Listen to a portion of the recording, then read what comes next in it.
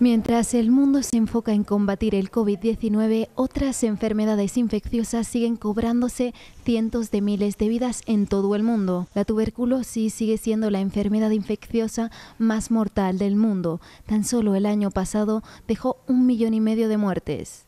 Mientras se extiende mundialmente junto al VIH y la malaria, parece que la lucha contra estas enfermedades está mermando por primera vez en 20 años tantas vidas, tanto esfuerzo durante tantos años y podríamos ver cómo todo eso se revierte. No podemos dejar que eso ocurra.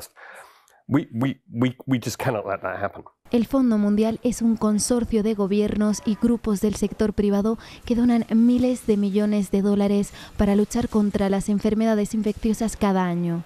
Según la asociación, en 2020 el número de personas tratadas por tuberculosis resistente a los medicamentos se redujo en un 19%. Las pruebas de detección del VIH cayeron en un 22% y las personas sometidas a pruebas de detección de malaria bajaron un 4%.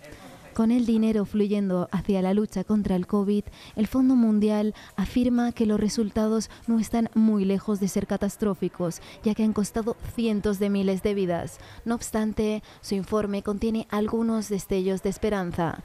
Los pacientes que recibieron terapia antirretroviral de por vida contra el VIH aumentaron en un 9% y las medidas de prevención contra la malaria se mantuvieron estables en comparación con 2019.